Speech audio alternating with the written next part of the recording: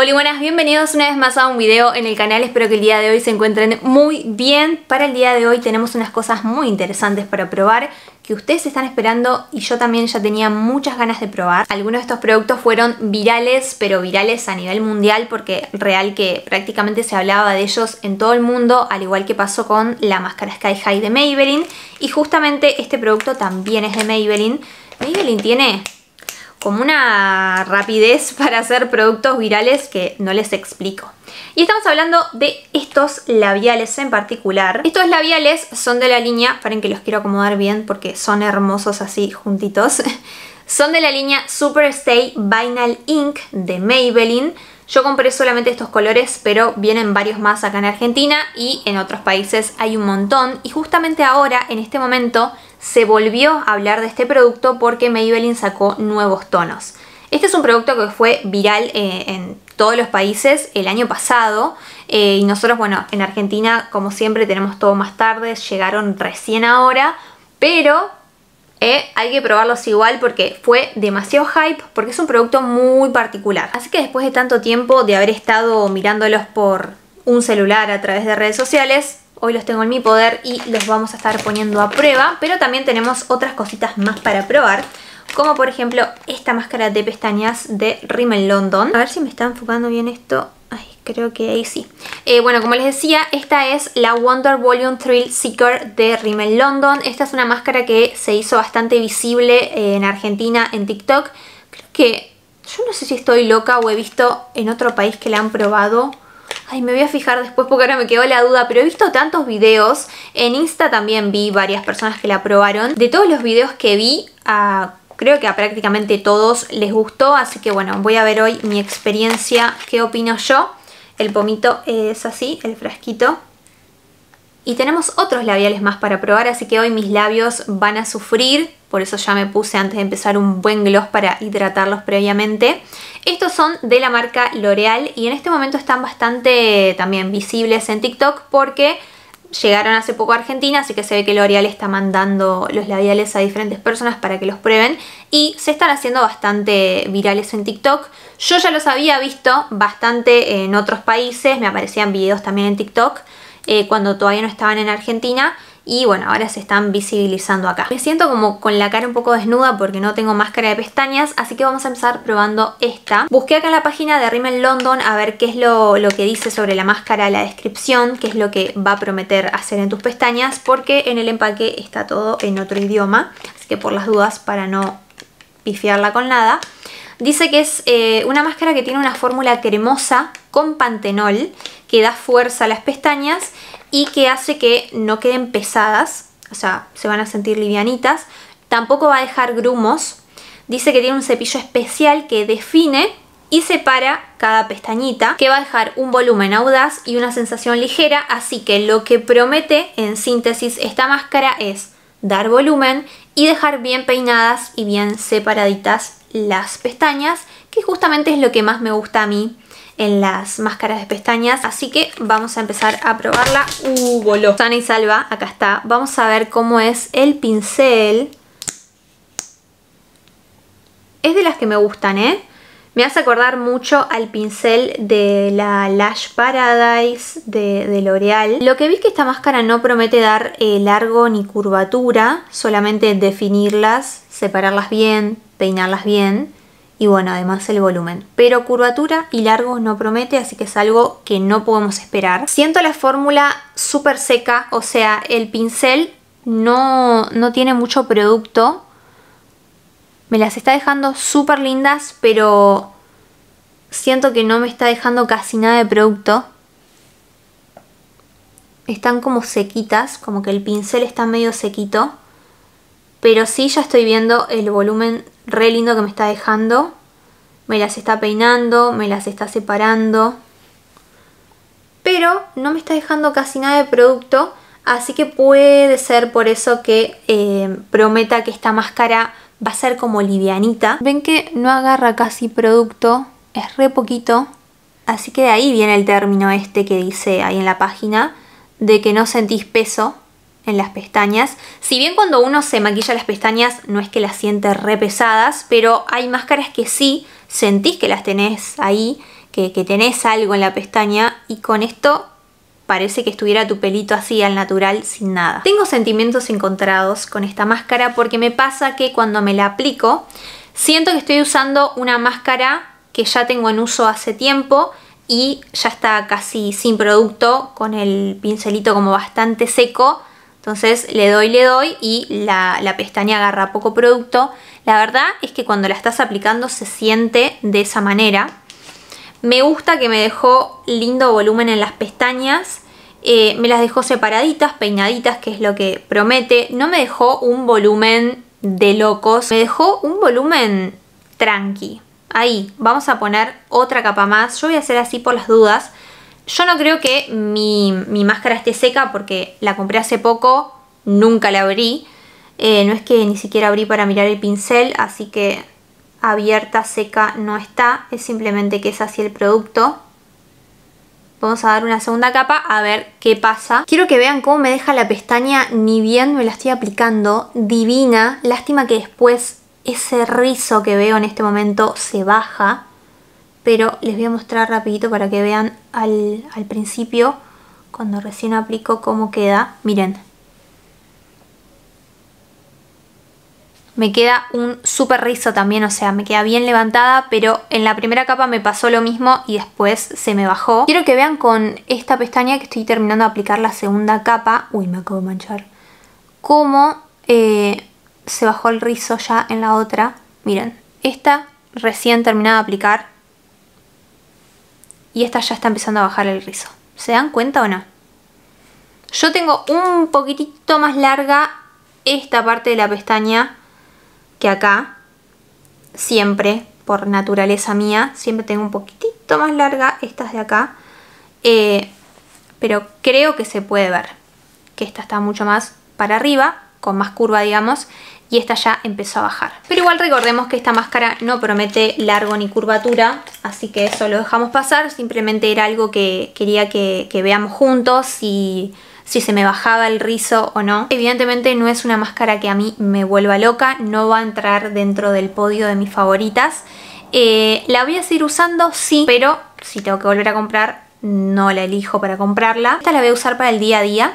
Eh, no la usaré para cosas importantes o para salir o para ir a eventos, pero la puedo usar para el día a día cuando me toque maquillar para algo. Vamos a pasar ahora a probar labiales. Vamos a ir primero con estos. ¿Por qué? Yo sé que ustedes mueren por probar estos y yo también, pero estos los voy a dejar para último por el tema de que mm, cuando te los aplicas son más difíciles de sacar y va a quedar manchadito. Y cuando pase a esto ya mis labios van a ser un payaso. En cambio estos me los saco mucho más fácil, no me dejan manchado ni nada. Yo ya me saqué el gloss que tenía y vamos a empezar a probar. Tengo dos colores. Uno es el 640 y el otro es el 603. Vamos a empezar con el 640 que es más, es un nude rosado. Me encanta, me fascina el empaque. Tienen un empaque muy de alta gama, que esto lo había dicho en el, en el haul que hice. El empaque parece de un labial de alta gama, tipo un labial Dior, un labial Lancome. Fíjense acá el cierre que tiene. Esto es como si fuera una goma, pero aterciopelada. O sea, la sensación que te da esto es de tener un labial caro. Así que nada, todas estas cosas que L'Oreal le va sumando a sus empaques van incrementando obviamente su valor, su precio. Y vamos a ver qué tal. Lo genial que se siente esto a la hora de aplicarlo, yo no les puedo explicar. Realmente es hermosa la sensación y este color es una bomba, es muy los colores que yo suelo usar. De hecho tengo uno de Revlon que tiene un color muy similar. Lo usé todo el verano, casi que ya me lo termino. Miren lo que es este color. Vamos por puntos según lo que promete la fórmula. Uno, ser muy pigmentada, sí. Miren la pigmentación, por lo menos de este color muy buena. Vamos a ver si transfiere. Sí, pero muy poquito. Para hacer un labial cremoso tiene una transferencia muy poca. Y de hecho, cada vez menor. Y miren cómo está el color no se me fue. Ahí ya no transfiere más. Y el color sigue estando. Así que podemos decir que tiene una transferencia media, transfiere muy poquito. Después el tema este de que mm, no te iba a marcar las linitas de expresión de los labios, las arruguitas. Re bien, las marca normal, no te las remarca porque no es un labial que, que reseque. Es un labial que hidrata, también como prometía. Así que para mí la fórmula de este labial es un 10. Me lo voy a retirar, así podemos probar el otro color. Vamos a probar ahora el 603 Leewood, que también es un nude, pero más amarronado. No bueno. Y este color. Soy fan. Miren lo precioso que es. Les digo que...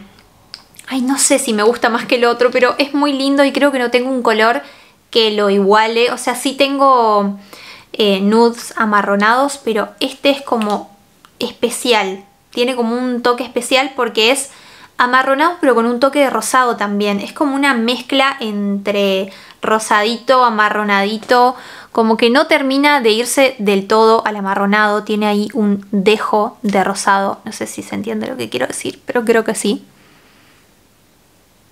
Estoy chocha porque había más colores de estos y no sabía cuál elegir y yo no pude verlos por dentro como eran y dije, bueno, ya fue estos. Y la verdad es que elegí súper bien. Y ahora sí vamos con los más esperados, los Vinyl. Les voy a mostrar bien cómo es el empaque porque antes no les había mostrado. A ver si la cámara quiere agarrar. Ahí va. La verdad que el empaque es precioso. Es todo de plástico. Dice Vinyl acá. Y si juntas uno con otro, por ejemplo lo dejas así. ¿Y cómo era esto? Así. Pones uno así y otro así. Se completa la palabra. En vez de que se complete así, se completa así. Nada, es un pequeño detalle que me parece que está bueno. En la página de Maybelline dice que estos son unos labiales con acabado de efecto vinilo. Para que ustedes lo entiendan, antes de que lo probemos, el efecto vinilo es como que si yo me pongo un labial mate, por ejemplo un rojo mate, y arriba me pongo un gloss, que me queda con color y brilloso. Pero lo que tiene esto de particular es que vos haces un swatch y el gloss no transfiere. Es magia. Seguimos viendo lo que dice acá. Dice fórmula en tinta líquida de larga duración. Dice que hay que agitarlo y aplicarlo para conseguir 16 eh, horas de color y de brillo. Personas que ya probaron estos labiales me recomendaron que los bata bien. O sea, vos no puedes agarrar este labial y aplicártelo directamente así porque no te va a funcionar. Tenés que darle supuestamente un buen shaky, shaky, shaky. De hecho, viene preparado como para poder agitarlo. No quiero que esto se desagite porque me dijeron que si no, no funciona. Vamos a probar el color 35 eh, Chiqui. Este pincelito así. Y así queda el acabado. Ven que queda como que si uno se pusiera por arriba un gloss. Voy como dos minutos, tres, haciendo esto pero parece que todavía no secaron, no sé. Se me pegan los labios. Mm, bueno, bueno, no transfiere. Eso que está ahí, que transfirió, ¿saben qué es? Miren. ¿Ven ahí? Hoy me arranqué un pellejito sin querer del labio y me re lastimé. Entonces donde tengo la lastimadura, como que me repele el labial. Ahí. Y es eh, lo que quedó. Pero no me transfirió. Sacando eso, flashé que me iba a transferir por esto. Es raro, ¿esto en algún momento se va a secar o no? Porque la verdad que mm, la sensación esa no es muy cómoda que digamos. Bueno, me lo voy a sacar y vamos a ver después porque tengo dos más para probar. Así que a ver qué tan... Uy, donde tengo lastimado me reduele. Encima no tengo mm, el bifásico. Se me terminó y no compré. Me estoy sacando con agua micelar común. Me voy a hacer pindonga los labios. Vamos con este rosadito, que el tono es el 20 Koi. Este color está tremendo, por lo menos a mí me, me sienta mucho mejor que el otro. Y me pasa que siento que este brilla mucho más, tiene mucho más ese efecto vinyl que eh, el otro No sé qué opinan ustedes, cómo lo ven ustedes en cámara. Pero yo acá siento que este tiene más el efecto vainal que el otro. Lo vamos a dejar secar por este temita de, que se pega.